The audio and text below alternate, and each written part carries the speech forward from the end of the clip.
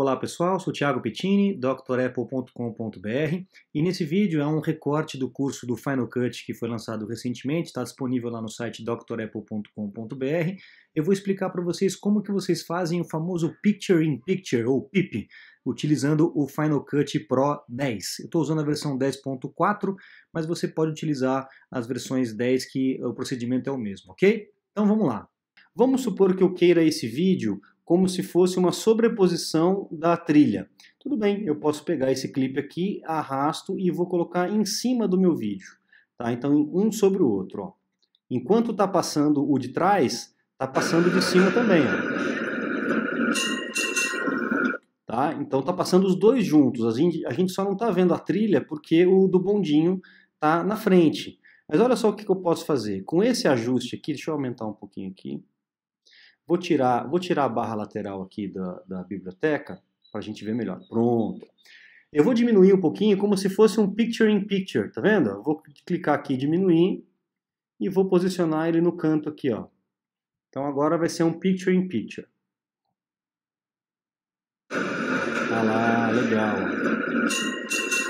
Ó, mas esse áudio está entrando muito duro, né? Tá atrapalhando aqui. Então eu vou dar um zoom e eu vou lá no ganchinho do áudio, puxar para a direita para ele entrar mais suave com fade in e sair mais suave com fade out, tá? Eu posso até colocar uma transição nesse vídeo aqui, ó, vamos clicar no botão da transição, vamos escolher uma transição de dissolver, por exemplo, ó, venho e solto em cima do clipe.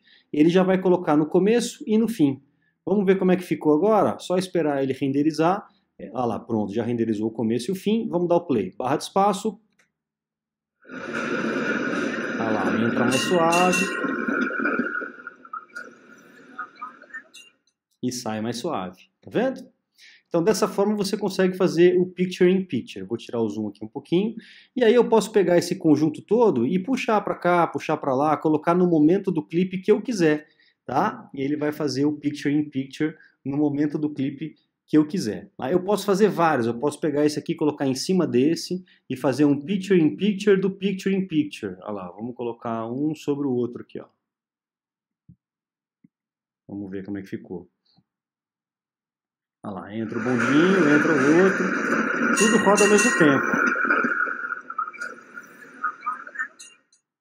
Legal? Tudo rodando ao mesmo tempo, tá vendo? Então você pode pegar vários clipes e fazer esse tipo de, de trabalho.